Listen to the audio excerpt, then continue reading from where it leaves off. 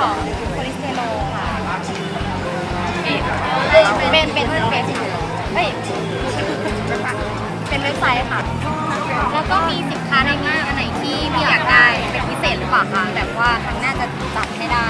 แล้วก็จะโพสต์ลงที่ Facebook ก็จากนั้น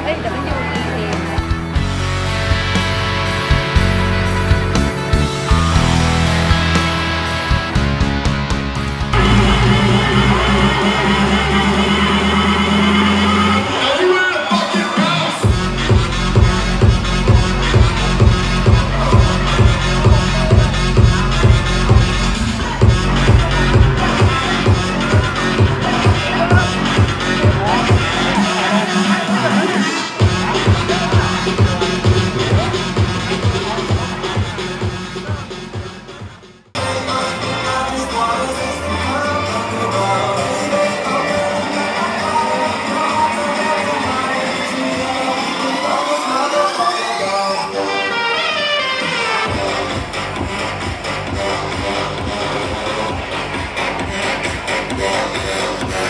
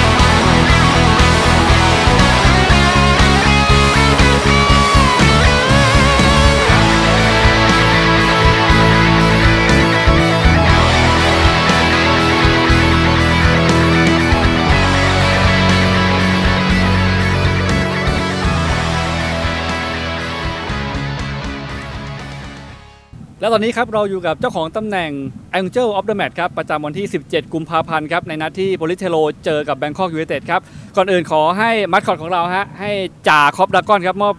เป็นของที่ระลึกครับให้กับเจ้าของตำแหน่งของเราก่อนเลยฮะ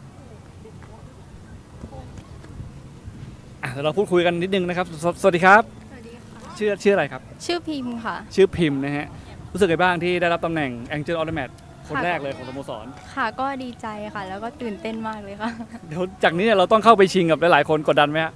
ก็นิดนึงนิดค่ะ นึงนะครับ เชียร์โปลิเทโลมามากี่ปีแล้วครับ เอาจริง ๆ เชียร์มานานมากเลยนะคะ ก็เชียร์มานานตั้งแต่นานแล้วใช่ไหม ตั้งแต่แรกๆเลยอ๋อะอค่ะ แปลว่าเป็นแฟนพันธ์แท้เลยอ๋อนะครับตามคุณพ่อมาเชียร์ ค่ะ ในนักเตะชุดปัจจุบันเนี่ยชอบคนไหนเป็นพิเศษไหมฮะ เจ้าเอี้ยงธีรพลย้อยเย้ยนะครับผมอะช่วงนี้เนี่ยผลงานของทีมก็ยังไม่ค่อยดีเท่าไหร่ ให้อ่าน้องพิมพ์เนี่ยฝากกำลังใจให้กับนักฟุตบอลเราหน่อย ค่ะก็ผลงานที่ผ่านมาก็ไม่ค่อยดีเท่าไหร่นะคะ คือถ้าที่ที่ทำได้ต่อไปก็คือต้องตั้งใจทำแล้วก็พวกเราก็จะเป็นกำลังใจให้ต่อไปค่ะ นี่นะครับก็เป็นกำลังใจดีๆจากเจ้าของตำแหน่ง Angel of the Match นะครับ สุดท้ายครับให้พิมพ์ฝากถึงเอ่อผู้ผู้เข้าประกวดที่จะมาเป็น Angel of the Match ในนัดต่อๆไปหน่อย ค่ะก็ฟุตบอลนะคะไม่จำเป็นที่จะต้องเป็นแต่ผู้ชายเข้ามาเชียร์นะคะ เพราะว่าสมัยนี้ก็ผู้หญิงผู้ชายก็เหมือนกันแล้วนะคะ ก็ฝากสาวๆที่คิดว่าตัวเองโดดเด่นหน้าตาดีน่ารัก แล้วก็มีบุคลิกที่น่าสนใจนะคะ ก็เข้ามาร่วมกิจกรรมนี้กันได้นะคะ ค่ะขอบคุณค่ะ